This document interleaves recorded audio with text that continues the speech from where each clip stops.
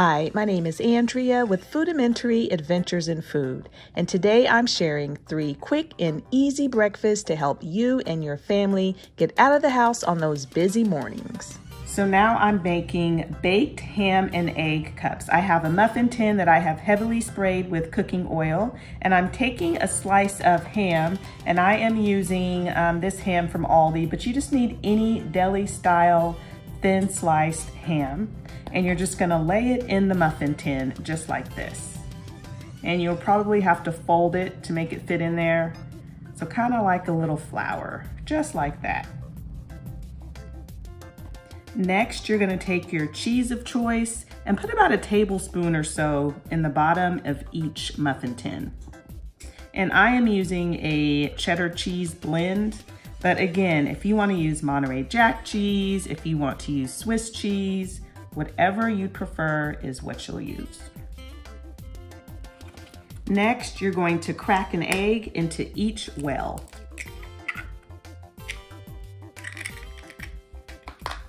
Now, I personally like to break my yolk open. Um, you don't have to do that, of course, just a personal preference. I always like to make sure that my eggs are cooked all the way through. Howard and I aren't into um, you know, raw eggs. So I'm just cracking them, I'm just breaking them open right now.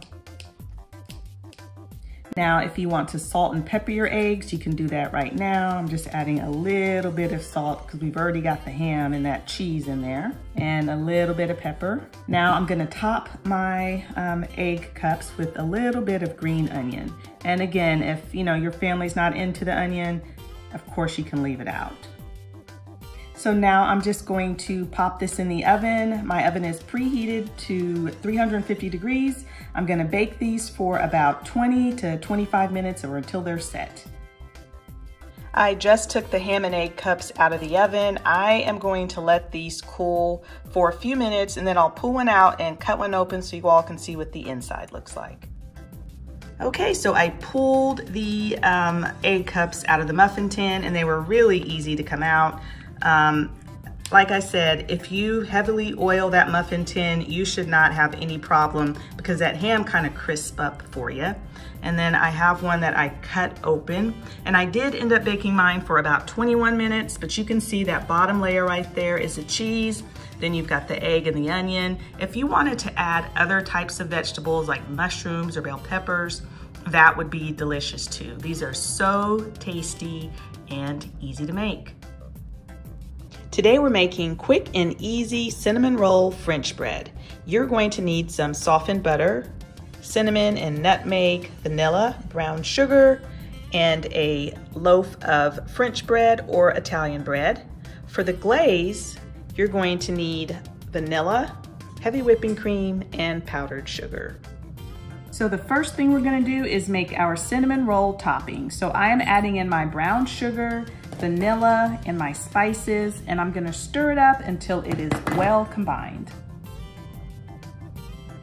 And this is what it looks like. So now we're gonna mix up the icing. I've got my powdered sugar in there, adding in my vanilla, and I'm going to add in my heavy whipping cream.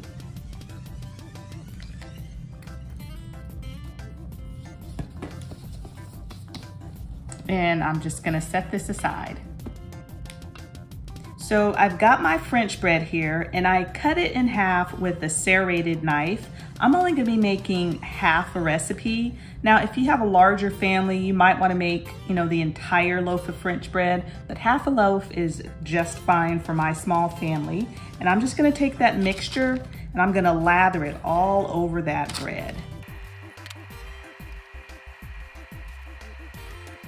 All right, so now I am going to pop this in the oven. My oven is preheated to 350 degrees, and I'm gonna let this bake for about 25 minutes. Okay, so I took the French bread out of the oven and I let it cool for maybe about five minutes, and then I cut it into slices. And now all I'm doing is just drizzling that icing mixture over the bread.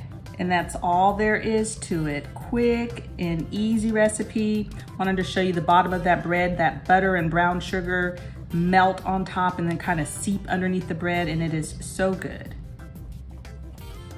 So now we are making ham, egg, and cheese pockets, and this is the puff pastry that I am using.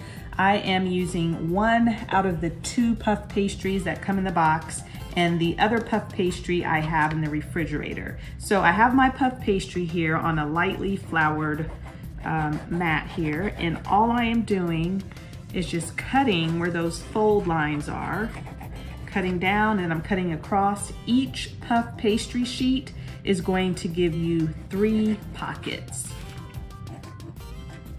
So now all I'm going to do is transfer my puff pastry onto a parchment lined baking sheet. Now, this is the ham that I'm gonna be using. It's just regular deli ham, thinly sliced. And then I am using white cheddar. Now you can use whatever cheese you would like. And all you're gonna do is take your cheese and you'll probably have to break it in half and then just place it on the puff pastry. And as you can see, I only have three pieces down. That's because the other three pieces are going to go on top. So I've got my cheese down and now I'm going to take my scrambled eggs. I made five scrambled eggs and then you're just gonna season them however you want. And you are just going to put it on top of that cheese. Next, you're gonna take two slices of ham and you're just gonna lay them right on top. There's one and two. Now you're gonna take your other pieces of puff pastry and you're just gonna put them on top, just like that. Now you're gonna use a fork and just go all the way around the edges to seal the two pieces of dough together. And you may have to stretch the dough a little bit to make it work, but it's pretty easy. Okay, so I've got these all sealed and now I'm going to get the other piece of puff pastry and do the same exact thing. Okay, I've got all of my puff pastries ready to go. Now all I'm doing is applying a wash. I am using heavy whipping cream. I don't really care for egg washes, but you could certainly reserve some of that egg mixture uh, before you scramble your eggs. You could reserve some of that to uh, use as an egg wash. So you're just gonna brush, brush, brush Okay, so these are ready to go into the oven. I have my oven preheated to 350 degrees, and I am going to bake these for about 20 minutes or until they're nice and golden brown. Okay, so here they are. I just took them out of the oven and they have been cooling for about five minutes. I cut one open so you all could see the inside. So here you are, super quick and easy. I hope you all enjoyed this video. If you did, please make sure to give us a thumbs up. And if you have not subscribed to our channel, we'd certainly love to have you. Thanks so much for watching and we'll see you all next time.